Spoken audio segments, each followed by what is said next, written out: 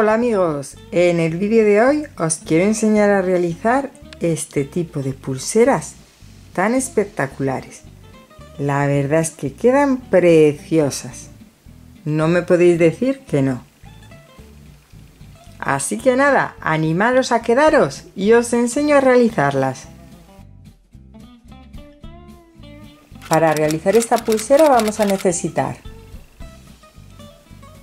cuentas bar en el color o colores que más os gusten.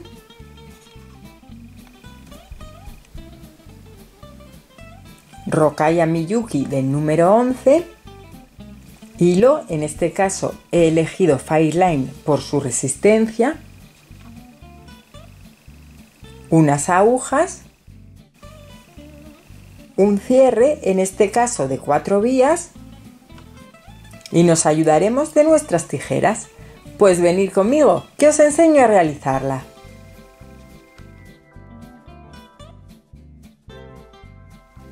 Yo ya tengo enhebrado el hilo en la aguja. Como os decía en esta ocasión voy a utilizar hilo Fireline, ya que necesito un hilo que sea bastante resistente. Y lo primero que vamos a hacer es colocar una cuenta que nos va a servir de tope en la creación. Para ello podemos utilizar cualquier cuenta y en este caso se trata de una cuenta de matubo del número 8 y la llevamos hasta uno de los extremos del hilo dejando más o menos unos 15 centímetros por abajo que va a ser donde luego vamos a colocar el cierre. Pues bien ponemos la cuenta y pasamos el hilo dos veces por ella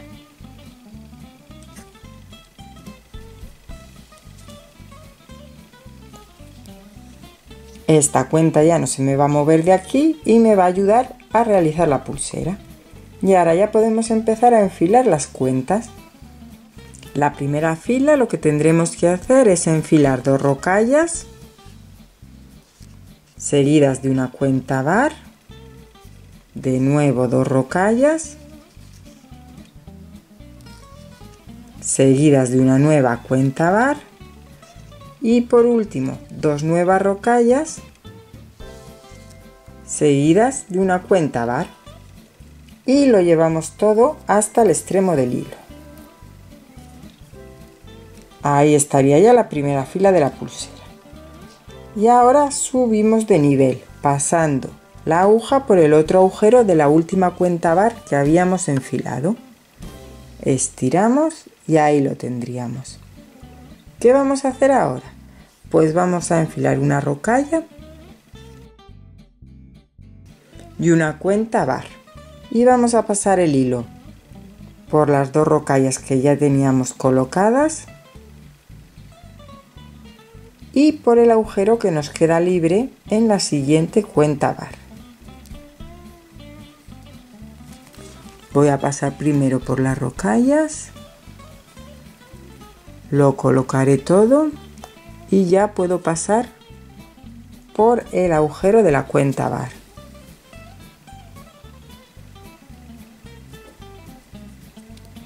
Ahí lo tendríamos.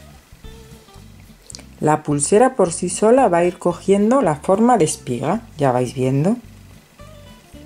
¿Qué hacemos ahora? Lo mismo, enfilamos una rocalla y una nueva cuenta bar y pasamos el hilo por las dos siguientes rocallas que ya teníamos colocadas y por el agujero que nos queda libre en la siguiente cuenta bar. A mí este hilo, como lo deja todo tan apretadito, no me permite pasar a la vez por las rocallas y por el agujero de la cuenta bar. Lo tengo que hacer en dos veces. Pero no pasa nada, es muy sencillito. Ya tenemos las dos primeras espigas y en el último paso de esta fila de la pulsera lo mismo enfilamos una rocalla y una nueva cuenta bar y pasamos por las dos siguientes rocallas que ya tenemos enfiladas.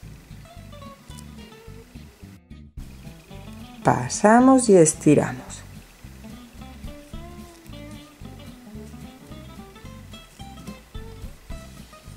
Ahí estaría ya la primera fila de espigas de nuestra pulsera. ¿Qué vamos a hacer ahora? Pues vamos a enfilar dos nuevas rocallas y pasamos por el agujero que nos queda libre en esta cuenta bar. Ahí estaría. Y ahora enfilamos una nueva rocalla y una nueva cuenta bar. Yo voy a ir haciendo dos filas de cada color. La primera fila la he hecho con estas cuentas bar multicolores y las dos siguientes las voy a hacer con estas cuentas doradas. Pues bien, enfilo la rocalla y la cuenta dorada y paso la aguja por la siguiente rocalla y por el siguiente agujero libre que me queda en la siguiente cuenta bar y estiramos.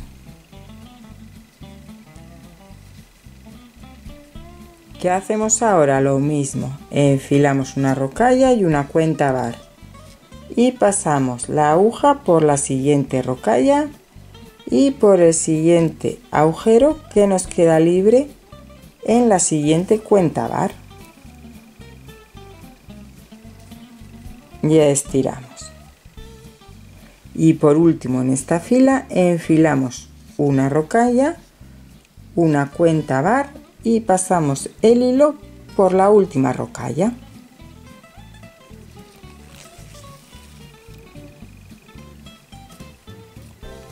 estiramos y ahí lo tenemos ya la pulsera va tomando la forma de espiga ahí lo podemos ir viendo ¿qué vamos a hacer en esta cuarta fila? Primero de todo vamos a enfilar dos nuevas rocallas. Ahora ya vamos siempre repitiendo los mismos pasos. Enfilamos dos nuevas rocallas y pasamos por el agujero que está libre en la cuenta bar. Ahora enfilaremos una nueva rocalla y una nueva cuenta bar y pasamos el hilo por la siguiente rocalla y por el siguiente agujero libre de la siguiente bar y estiramos. Volvemos a enfilar una rocalla y una cuenta bar y pasamos por la siguiente rocalla y la siguiente cuenta bar.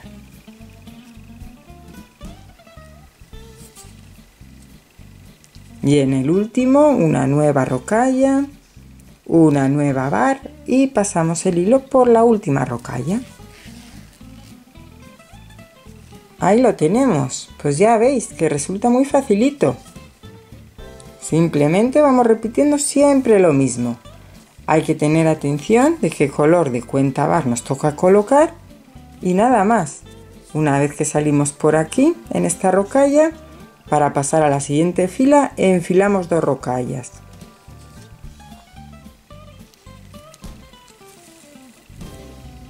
Siempre nos van quedando grupos de tres en estos laterales. Y ahora aquí enfilamos rocalla y cuenta bar. Me vuelven a tocar las cuentas multicolor.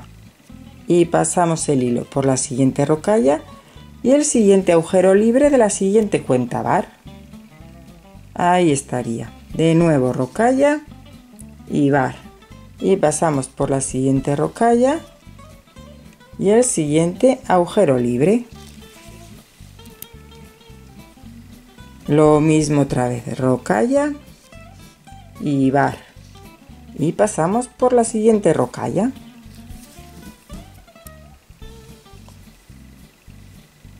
Ahí lo veis. Y para pasar a la siguiente fila simplemente enfilamos dos rocallas. Y pasamos por el otro agujero de la cuenta bar. Ya aquí ya va a ser siempre hacer lo mismo, rocalla y bar. Rocalla y agujero libre. Rocalla y bar. Rocalla y agujero libre. Rocalla y bar y rocalla. Ahí lo tenemos. Ya hemos completado seis filas.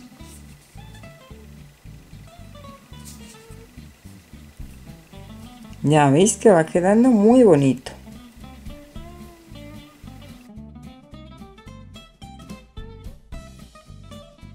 Yo voy a continuar haciendo la pulsera hasta la longitud que necesito y nos vemos para explicaros cómo colocar los cierres.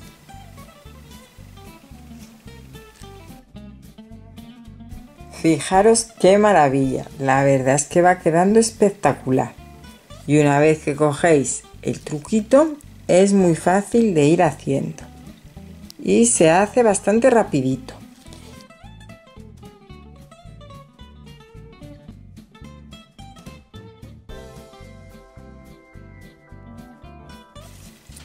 Lleva trabajo, porque son muchas cuentas, pero la verdad es que se hace muy entretenido. Y como os digo, una vez que cogéis el tranquillo, vais a ir muy rápido.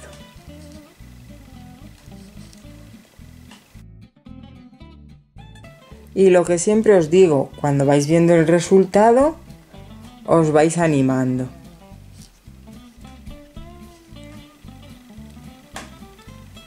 Yo voy a seguir para terminarla y nos vemos enseguida. Fijaros qué maravilla. Yo ya he terminado la pulsera, ya la tengo de la longitud que me interesa. Me queda aquí hacer la última fila, que como al principio colocaremos rocallas. Pues bien, enfilamos dos rocallas y pasamos por la cuenta bar. Ahora vamos a enfilar una rocalla, pasamos por la rocalla que ya teníamos, enfilamos una nueva rocalla y pasamos por la cuenta bar.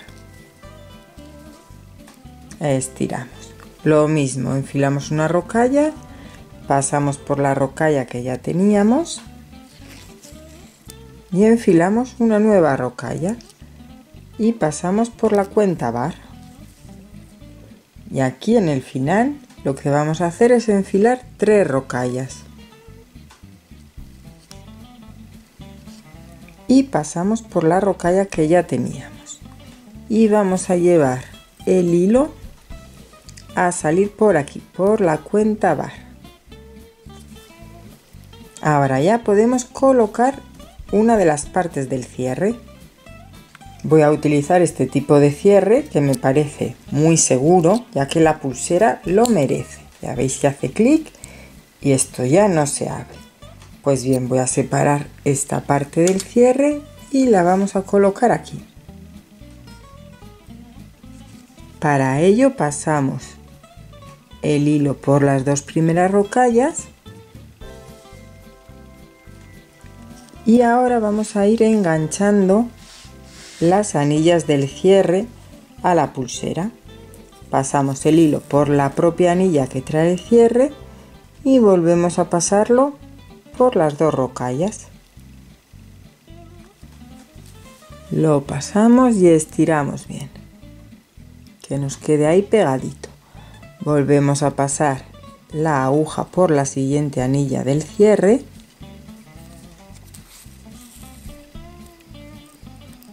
ahí y pasamos por las dos siguientes rocallas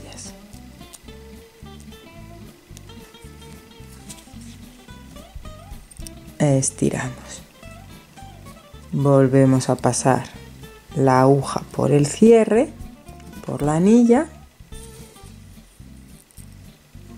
y por las dos siguientes rocallas estas dos que quedan en la parte de arriba estiramos y ya podemos pasar el hilo por la última anilla del cierre y pasarlo por la cuenta bar. Así quedaría ya colocada esta parte del cierre. Ahí lo podéis ver. Ahora por seguridad voy a continuar cosiendo de nuevo un poquito las anillas del cierre a las cuentas bar y a las rocallas. Ya he pasado dos veces todo el hilo por el cierre y ahora simplemente lo que vamos a tener que hacer es lo de siempre, esconder el hilo y una vez que creamos que lo tenemos ya bastante escondido y que la creación no se nos va a abrir, pues podremos cortarlo. En esta ocasión hace falta que demos nudos.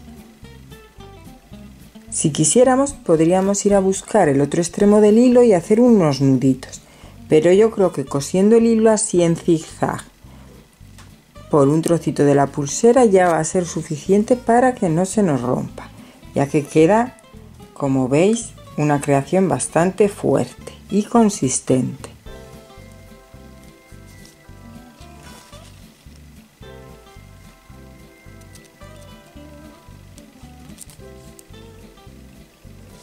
Ya veis, simplemente vamos cosiendo por donde mejor nos parezca el hilo. Y una vez que creamos que ya está lo suficientemente consistente, podremos cortarlo. Vamos siempre siguiendo el mismo esquema del hilo. Voy a hacer esto cortar el hilo y nos vemos para colocar la otra parte del cierre. Lo deseáis también en alguno de los puntos podéis hacer un nudo de este tipo, cogiendo un trocito del hilo, pasáis la aguja y volvéis a pasar por el bucle que se forma. Ahí estiráis y con ese nudito ya sería suficiente. Volvemos a coser un poquito el hilo y ya podremos cortarlo. Pues aquí yo ya podría cortar el hilo.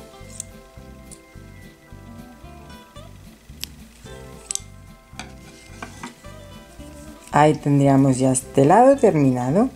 Y ahora con el trocito de hilo que habíamos dejado anteriormente, ya podemos quitar el avalorio que nos hacía de tope Vamos a colocar la otra parte del cierre.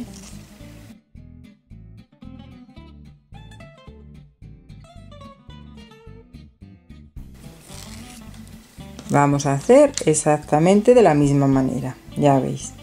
Es el cierre con cuatro anillas que colocaremos entre las rocallas y las cuentas bar. Y de este modo cerraremos la pulsera sin ningún problema. En este caso de la misma manera vamos colocando las anillas cosiéndolas con el hilo por ejemplo por aquí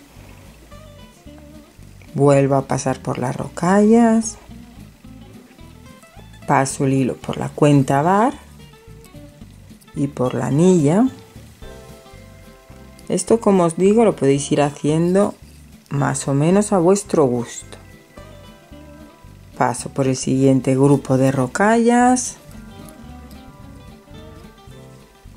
Por la cuenta bar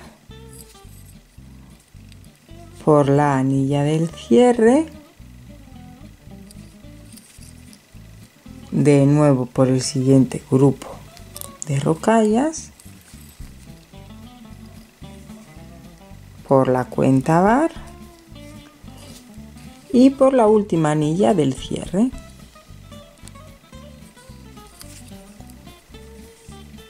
Y de nuevo por la cuenta bar.